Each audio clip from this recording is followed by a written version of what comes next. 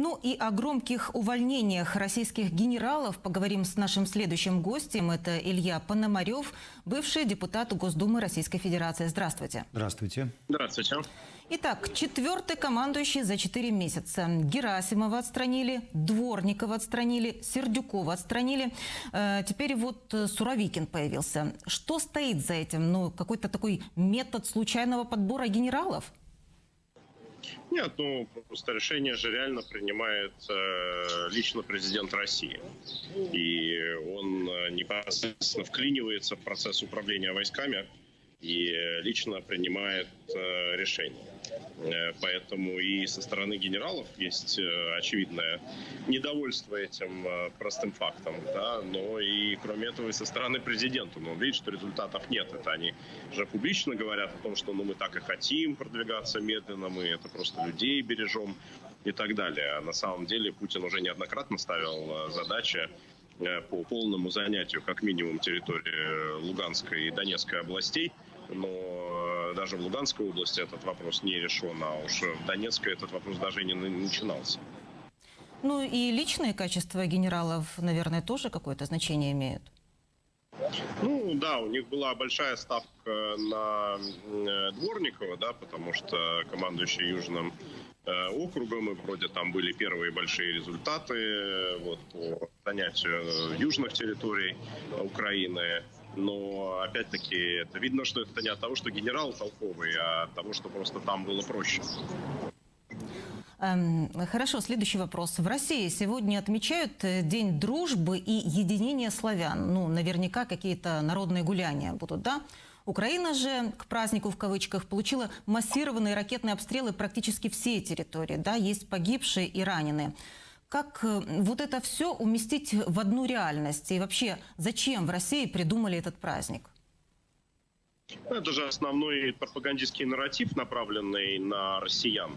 Э, для россиян очень важно считать, что это не захватническая война, а наоборот освободительная. Что э, россияне пришли на помощь братьям, в Украине, что они их освобождают, что они борются с нацистами, борются с литворным влиянием Запада. Ну, конечно, что на самом деле просто люди ждут, когда же их наконец освободят. И поэтому любые здесь такие праздники и так далее, это все лыков строк. А вчера Лукашенко приехал в гости к Путину в Подмосковье. 30 июня должна состояться еще одна их встреча, теперь э, вот на территории Беларуси. О чем эти двое могут говорить? И Получится ли у Путина дожать Лукашенко, чтобы он вступил в войну против Украины? Э, Лукашенко же они долго встречались. Они встречались три дня в завидовании. Это не Подмосковье, это Тверская э, область такое, а хозяйство еще с старых советских времен, оставшееся президенту Российской Федерации. Я честно думаю, что Э, более реальная задача для Путина это скорее Сувалковский коридор, коридор, который соединяет Беларусь э, с Калининградской областью. И именно это та территория, на которую Лукашенко легче склонить, чем на вторжение в Украину. То есть он хочет Явно склонить Лукашенко, пробить коридор его силами, да, как бы? Да, да, чтобы белорусская армия в этом участвовала, как союзнические действия, там, ОДКБ и все дела, потому что э, на это, по крайней мере, проще э, уговорить белорусских военных, которые ну, совершенно не горят желанием лезть в Украину. Все же видели результаты, и никто не хочет, опять-таки, оказываться крайним в этом вопросе. Но вот э, интересно, если все-таки они предпримут против Литвы хоть что-то, это ведь конец будет фактически России и Беларуси. И вот тоже ситуация странная. То есть Белоруссия должна начать войну против НАТО, да, вот по мнению Путина? Ну, совершенно верно. Он хочет его подставить, да, то, что в крайнем был формально не Путин, не Россия, а значит, это вот сложности, которые есть у Беларуси э, с Литвой и Польшей, и, значит, э, якобы Лукашенко Э, по своей инициативе решает эти вопросы, а Путин как бы, как всегда, ни при чем. Нас тут нет.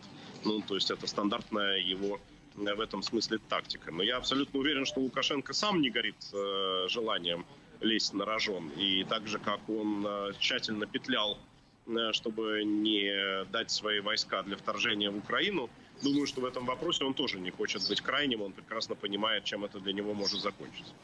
Ну, видите, вот они только встретились, и на Житомирскую область уже полетели ракеты с территории Беларуси. 24 ракеты. Я не думаю, что это непосредственно взаимосвязано. То есть это скорее э, действие самой э, России. То есть Россия хочет всячески подчеркивать, что Беларусь э, на ее стороне и делает все, что нужно.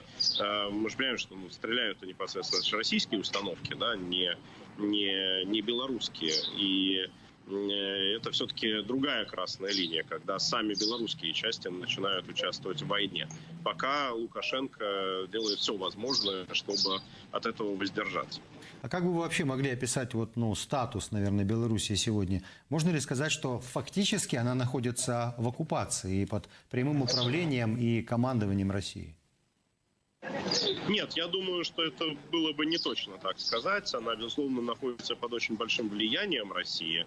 Э, и э, там всевозможное международное давление, которое оказывается на Беларусь, оно только укрепляет э, эту связку. Я считаю, более бы рационально на самом деле для нас и для всего Запада было бы стараться отколоть Беларусь от России. Лукашенко не хочет сдать суверенитет, он не хочет превратиться в субъект Российской Федерации, не хочет стать подчиненным Владимира Путина. Ну и твердое нет он сказать не может. Не может он же сказать нет.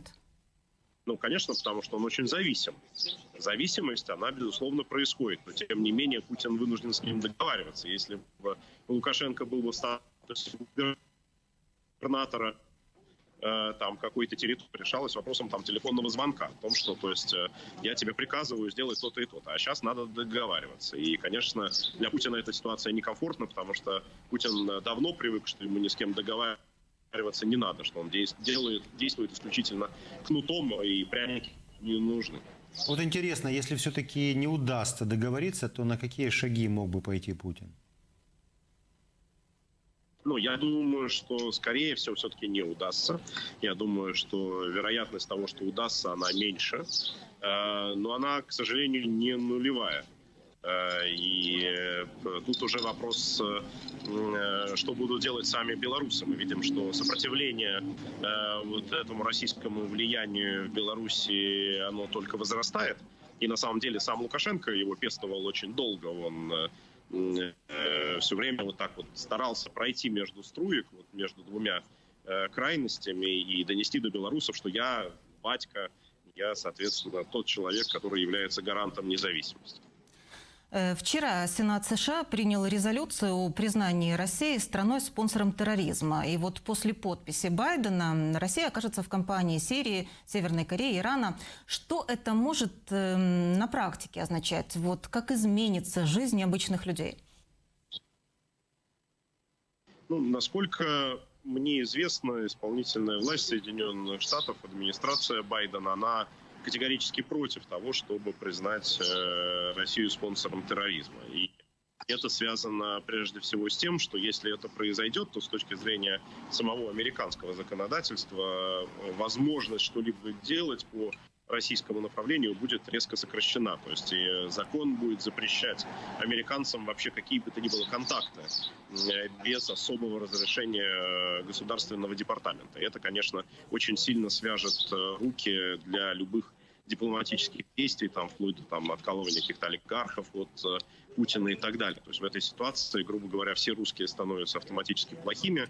Э, будет ситуация такая же действительно, как с э, Ираном. Они там не будут не иметь права не пускать никого из русских на территорию Соединенных Штатов по обычным э, визам. Выдавать новые визы, естественно, тоже э, не могут. То есть это очень резко сократит э, маневр у э, американцев, и я не думаю, что это сейчас произойдет. Если случится, я, ну, то есть я думаю, что э, это будет означать серьезное даже внутреннее поражение э, Байдена, потому что это означает, что он совсем не может контролировать сам свою внешнюю политику. С мемориала в Катане убрали флаг Польши. Мэр Смоленска написал, э, что это решение Министерства культуры и назвал его правильным. Зачем российские чиновники это сделали? Они хотят еще больше испортить отношения с Польшей, Евросоюзом, еще больше накалить обстановку? Ну, вы очень правильно сказали, что это делают чиновники. А, чиновники стараются всегда бежать впереди паровоза и говорить, я самый лояльный, я там главный путинист. Э, вот, э, просить себе какие-то карьерные э, за это продвижение, плюшки и так далее. Они понимают, что если они там переборщат, ну, там им погрозят пальцем, скажут, то есть, ну, вы тут э, чересчур были активными, но э, их не накажут. А вот если они что-то не сделают, то тогда может быть, э, конечно, наказание. Поэтому я думаю, что это просто процесс, который отражает общее э, такое настроение в российской элите. То, что транслирует Кремль, э, вот весь этот угар псевдопатриотический, который транслируется по каналам российского телевидения, чиновники уже это воспринимают как команду к действию, и поэтому эта спираль Э, конфронтация, она только закручивается все туже и туже. Но то, что касается Катани, ведь это очень знаковое, очень трагическое место для поляков, и большинство из них уверены, что самолет с президентом Качинским упал там не просто так. И вот вокруг вот этого места устраивать вот такие неприятные демарши, э, убирать флаг, это ну, очень больно будет бить по нашим польским друзьям. Нет, конечно, это фактически Э, Россия, то, что она так делает, она э, дает лишний повод говорить о том, что да, э, это именно Кремль стоял за катастрофой этого самолета. При том, что я лично считаю, что это не так. Я считаю, что это был несчастный случай, но кому-то это докажешь. Если ты травишь своих оппонентов новичком, и это действительно делает с российским руководством, ты убиваешь своих оппонентов в разных странах мира, то почему ты не можешь отдать команду на уничтожение Э, бывшего польского президента. То есть легко. Ну, брат э, погибшего президента уверен, что у них все-таки есть все доказательства.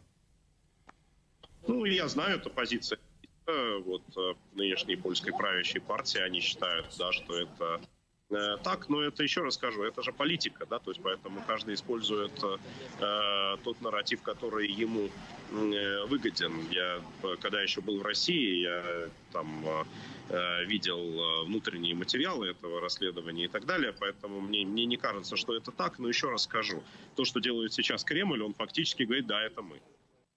Спасибо вам большое за ваш комментарий. На связи со студией был Илья Пономарев, бывший депутат Госдумы Российской Федерации.